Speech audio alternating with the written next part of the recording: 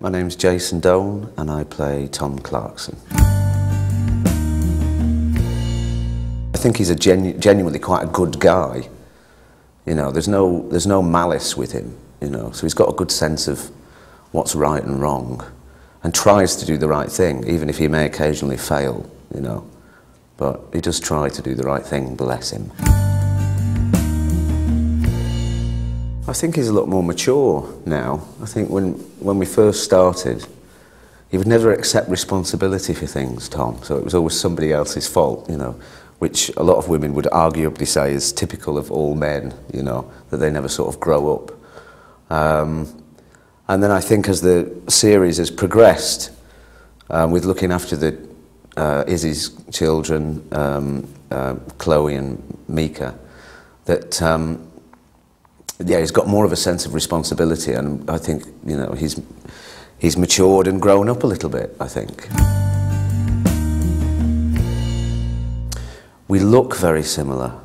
Um, aside from that, not really. I mean, everything that he does that is good is me, and everything that he does is bad is um, something else.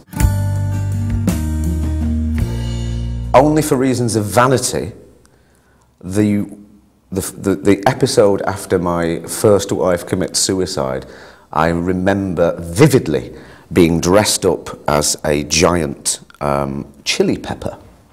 For the, we had this some some health drive inif initiative, you know. Um, and so Jill Halfpenny, I think, was dressed as a giant tomato, and I was dressed as a giant chili pepper. So uh, which I hated. You know, I'm, I'm a very serious actor. I take myself very seriously. So, um, and we'd always have to stand together when we weren't filming because we just felt so uncomfortable being these giant vegetables. But yeah, I won't be forgetting that in a hurry.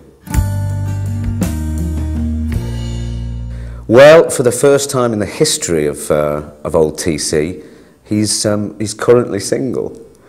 Yeah, so um, he's decided because of the extra responsibility with uh, finding out about this child um, that he didn't have time for a relationship and that he had to sort of concentrate on on being a dad you know so sort of again sort of accepting his responsibilities in a way you know Do you know what? Really boringly, yes, we do. Um, there's never. I mean, it's a credit to the casting, and I think, and a credit to the the setup here that um, everybody is um, really personable and lovely and you know no airs and graces and no nonsense.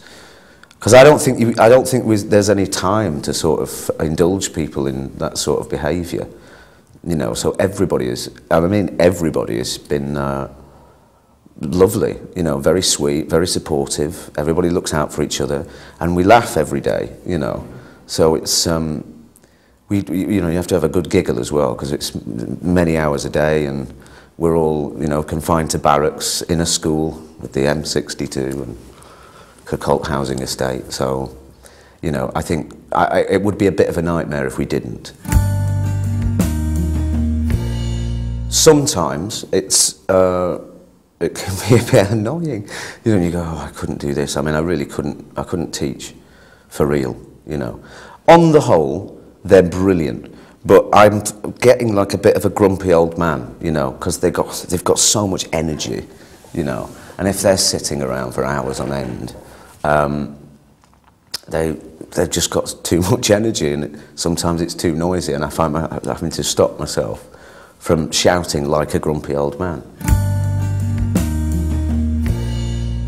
Well, I'd like to think, and this is the hope every time that you, you're making a new series, you know, I mean, it, you've got to keep, hold people's interest, um, and, and I guess it's about trying to make the best program that you can. So you don't want to cheat anybody and think, oh, well, we can just do anything now. I mean, people love Waterloo Road, so we can just produce any old nonsense, you know.